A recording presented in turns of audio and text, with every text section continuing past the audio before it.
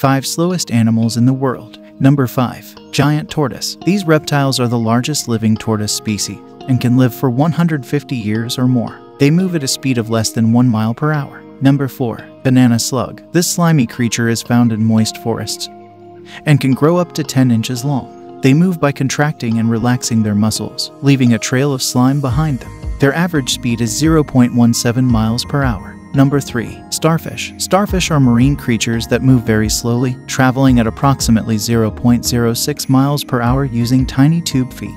Number 2. Garden snail. Garden snails move at an incredibly slow pace of about 0.03 miles per hour, using their muscular foot and slime secretion to glide. Number 1. Three-toed sloth. This furry animal is native to America and is the slowest animal in the world. On an average, it moves only up to 0.003 miles per hour due to their low metabolic rate and arboreal lifestyle.